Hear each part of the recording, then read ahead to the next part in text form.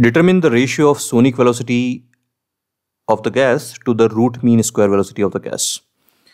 If the gas is monoatomic and if it is rigid diatomic. So we know that velocity of sound, that's what is uh, sonic velocity, is given as gamma RT by M. And here to put the value of gamma, we need this information whether the gas is monoatomic or rigid diatomic. So our required ratio is velocity of sound upon velocity of uh, VRMS. So it is root gamma RT by M upon root 3 RT by M is equal to root gamma by 3. So gamma for monoatomic gas is 5 by 3 which comes from this formula. So gamma is 1 plus 2 by F. For monoatomic gas, only translational degrees of freedom are there, that is 3.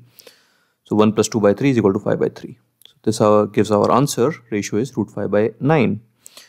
And for rigid diatomic, the degrees of freedom are 5. So 3 are translational and 2 are rotational.